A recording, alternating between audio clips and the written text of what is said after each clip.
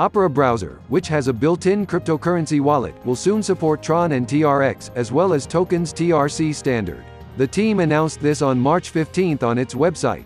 The article says, the decision to add another major blockchain onto its platform marks a further step in Opera's strategy to make Web3 more inclusive and user-friendly for people around the world. The integration of the Tron tokens within Opera's crypto wallet will allow hundreds of millions of Opera users to play Tron games and access Tron dApps within the browser. The seamless user interface doesn't require any third-party browser extensions or wallet applications. Opera plans to add support for multiple blockchains within the next 12 months. After the integration of the Tron blockchain, Opera users will be able to use Tron's TRX and TRC standard tokens within its browser.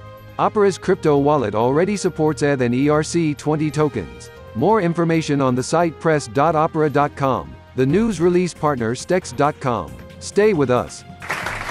Bye.